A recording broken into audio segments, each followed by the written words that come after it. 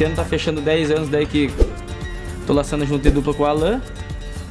E graças a Deus tá correndo tudo bem. Acho que nesses 10 anos aí, o pessoal do rodeio fala que 10 anos numa fase boa, né? E faz 10 anos que nós vem quase todo final de semana tira algum um prêmio. Na verdade é a nossa profissão, né? Que nós corre todo final de semana, que nem no caso sai na quinta, volta às vezes segunda, terça para casa, na quinta já sai de novo. Chega em casa, nossa, esse final de semana não vou pro rodeio, vou descansar. Quando chega na quarta, quinta-feira, já tá louco pra ir de novo. E é um vício, né? A parte boa que tem de tu, tu ir pra rodeio todo final de semana é que tu viaja bastante.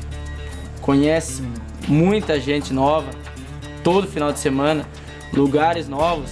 É, eu acho que o, o melhor do mundo do rodeio é isso aí, é fazer novas amizades.